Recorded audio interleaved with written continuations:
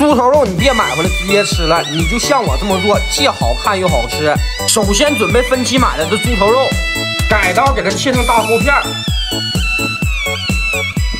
一顿乱刀给它剁稀碎。油热下入葱姜蒜末，倒入猪头肉，炒出香味放生抽，少许蚝油，少许十三香，再次给它翻炒均匀，加入一缸井水。给它炖两分钟，炖出它的胶原蛋白，给它收干汤汁儿。用我多年刮大白的手法，给它均匀铺在干豆腐上，从一头给它用力的卷起，给它放在菜板上，上边再给它压上重物，定型之后，给它改刀切成大厚片，Q